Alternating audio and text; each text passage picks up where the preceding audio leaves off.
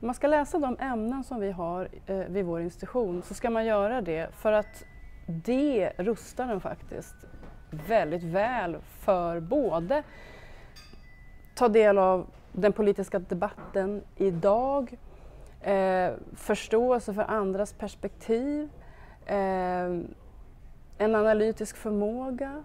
Väldigt många av de sakerna vi ser idag, till exempel vi håller på att prata om demokratin. Vad är demokratin idag? Är demokratin hotad? Är demokratin hotad inifrån? Vad gör populismen?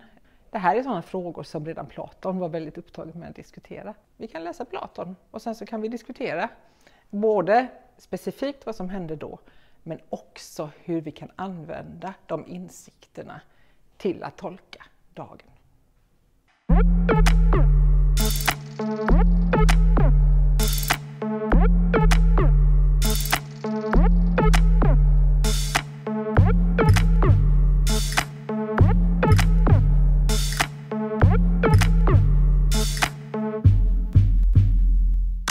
Som arkeolog så, så ehm, de frågor vi besvarar är ju hur man levde förr. Hur såg eh, samhällssystem ut? Hur såg eh, ekonomi ut?